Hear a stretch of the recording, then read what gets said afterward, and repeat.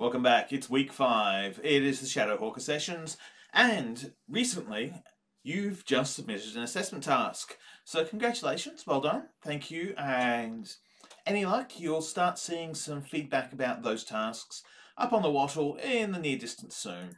So we're now into the applied end of the project. You've created an idea, you've pitched it, you've picked your platform, you've said what you want to do, and now it's time to play with the marketing mix. So on the fact that you have a value offer and you have a product, what we're going to get you to do now is we're going to get you to think about the pricing and the distribution of that product. So as a reminder, the content drift, if it happens, this is probably an at-risk week for content drift, given I've got to provide feedback uh, and I want to provide feedback on the assessment tasks. So it might be this week or next where there's a bit of drift and you should probably check out the Wattle for new videos and upcoming content. We are just approaching the marketing mix applications. This week, you're going to do price and price will enable you to do some stuff in positioning and that will let you feed into some ideas in promotion. Distribution is going to be tied in no small part to the platform that you're using. But distribution also means ease of access, which ties back to some of the pricing factors. When we teach marketing and we teach the 4Ps, we often teach them as silos. We teach them as independent operational parts. But yeah, as you're going to see, the reality is when you control the mix yourself, moving one affects all the other parts. So you want to be able to think about them as kind of like sliders where combinations make a greater impact than just individual elements. So as per the usual, it is, the, the Slidos are up, the handouts are ready. Now, one of the things I'm going to tell you is that your self-service, well, the self-self internship, it's go time. You haven't got your grades back, but you need to start making your project happen. So get out there, make it, get into this first week of content, do stuff, create the project, get in there, get underway. Now the DLC challenges are still live on the forum. Get Hype and Team Identity. We want to see you progress now. We want to see you move into building the project, delivering the project, working on those aspects, and that's what today's episode is about. How can we use price and how can we use distribution to help you get this project to the market? So, your first exercise, the task on the radar for you is let's ask the question around distribution. How do you get your product to your audience? Now, if we take the Shadowhawker sessions, we use an automated distribution process. Each week, YouTube unlocks one more episode, which feeds through to a link in the Wattle. If you subscribe to the overall channel, you'll see the content pop up in a feed. So I'm using an automated distribution platform that pushes the content from server to subscriber that has a couple of limits. It has a couple of strengths.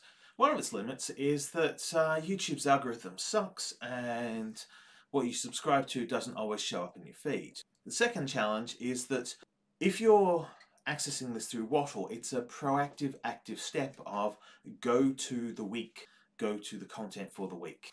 If you're subscribed to this and you're getting it fed to you, it's a passive access. So those are two different platforms. Those that's the same platform, two different processes. So active access through go to Wattle, look for link. Passive through it shows up in my subscription when I'm on YouTube. Of course, it's interactive access because the real value offer is in the exercises you undertake. So you filling out these forms and filling out these Word documents and responding to my prompts and cues, that's the real value. So to do that, you need to access the Word document, you need to engage with the ideas, you need, hey, look, Siva's up and see if it's in play.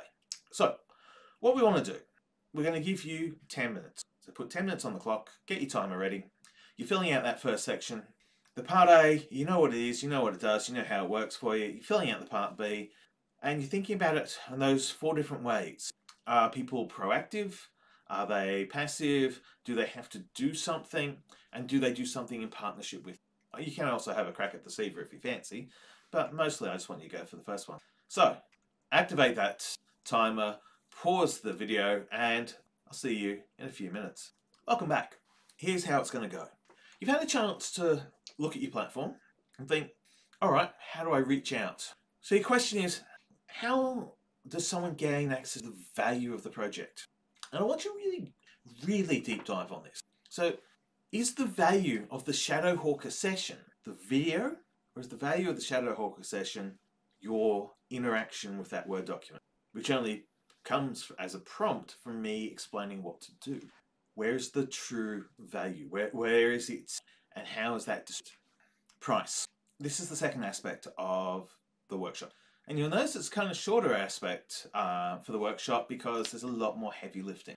The next exercise is 15 minutes, and it's a it's a good one. It's a it's a tough challenge. Now I need to remind you of two things in the theory base before I progress. First, price is what the customer pays to access the value. We are going to talk about the cost as a third exercise, as a post exercise, but it is not about what it costs you, it's about what it costs your audience. Here in e-marketing, we draw on more than just financial price. We are very much driven by the social marketers, this is the marketing for social change, the use of non-financial price. And you also see from our theoretical frameworks, so this ties back to, if you haven't watched the lecture, go and watch the lecture. Honestly, watch the lecture before you do the seminar. It's much, life's so much easier. In the lecture, you'll see that we talk about different types of pricing. One-off, ongoing, and we talk about use, we talk about acquisition, we talk about disposal costs. Your challenge in the next 15 minutes is that you are going to put an estimated price tag on your project. So, for people to use your project, are there any financial costs? If you are running a Patreon or you're running a YouTube uh, subscribers account, yes, there would be. What is the rent someone has to pay? If you are selling products, what is the average price someone has to pony up to get your product? So that's your financial. Of interest to us as well is what's the non-financial price? Now, just want to give you the quick example is it's usually about 20 minutes to play through the whole of the episode if you don't stop and do the exercises. So if you're the kind of person who goes, oh look, I'll watch the whole thing first, then I'll come back and I'll do the exercises, you're probably dropping an hour, hour and a half uh, on the self-service. So that's the time price. But if you find you're sitting there going, oh, what, what's he asking? What's, oh, this is so hard. Then there's an effort price. But if you're going, oh, I got this. Oh, thanks for the prompt there, Steve. I've got this. I'm going to type out a whole essay here in 15. Then maybe it's a low effort price. Maybe it's but this is what we want you to do. We want you to consider what are the non-financial price points attached to the use of the value offer that you are providing to your audience. What has someone got to outlay in terms of money, time, energy, effort, learning curve, whatever else is in our price structure, what do they have to do?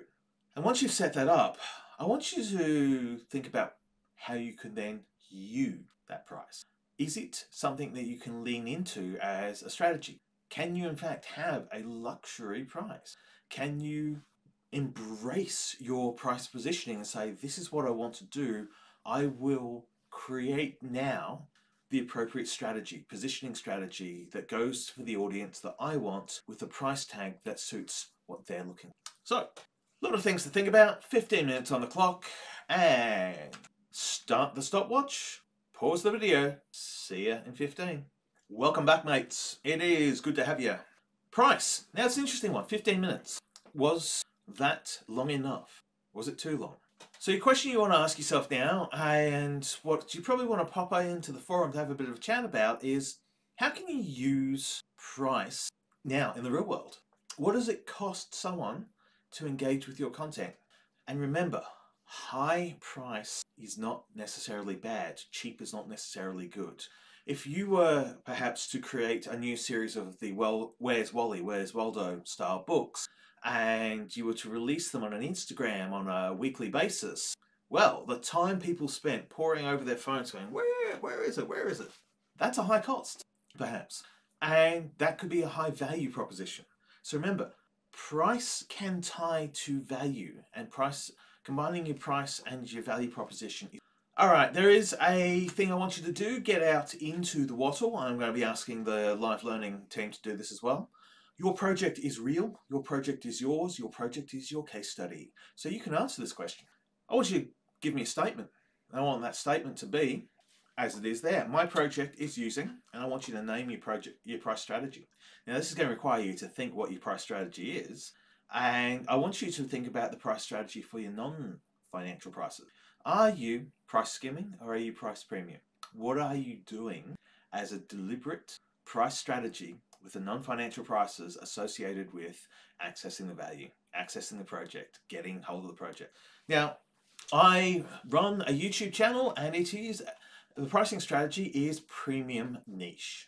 I'm a niche product. I'm of small interest to a small cadre of people. I cost about 10 to 15 minutes every week, but occasionally I cost psychic damage because I tell a pun so bad people groan, or I make a reference that is sufficiently obscure you have to stop and Google things to figure out what is he talking about now. Name your strategy, explain your strategy, and then look for partner projects. Look for people who are running a similar strategy to you. Try and build a positioning map of the subject of your project and your peer projects. Who's near you, who's opposite. Right, last thing to say. I want you to do a task for me between episodes. And I'll post this up in the forum. I'll give you a reminder next, next episode. I want you to spend a week tracking the costs associated with your project. Now this is something I did for my own project. So for my YouTube project, I spend about 30 dollars each episode on uh, the subtitling. Uh, my in-episode costs vary quite a bit. I have a particular element, uh, an unboxing, which is up to $50 worth of expenditure per box. So when I sat down to design season two, I went, okay, I want 10 boxes. That's $500 I've got to set aside for the unboxing. $300 I need to set aside for the captions and so I'm at $800 for, I'm at $80 an episode so far, and I haven't factored in other things um, around consumables that we've used, particularly because part of what I did was I filmed a bunch of stuff on a road trip. So I spent three days on the road driving to Canberra, filming things here and there. So I've probably got an average episode cost around $150 cash. So I'll drop about $1,500 on a season. I have got no revenue at this point in time. It is a hobby. It's a good one, but it's fun. But you need to start thinking early. How much is it costing you to run this project? And can I maintain that over time? Oh, and can I float the investment necessary to start making the revenue back later in the project's lifespan? Congratulations, you're an entrepreneur running a startup you got to work out what's going to cost you, where's the revenue going to come from, and how you're going to cross fund it until it starts making its own money. And to do that, your first step is how much is it costing you? As always, get out in the forums, have some fun, enjoy it, drive the traffic for me. You are my team I will depend upon this week because it's going to be really tempting for a lot of people to go, oh, I'm done. I, I submitted the assignment. I'll skip week four. Get in there, capitalize on the opportunity, post stuff, talk to people, engage, make stuff happen enjoy it. As always, you need me, there's my contact points, and it is the episode. We are done.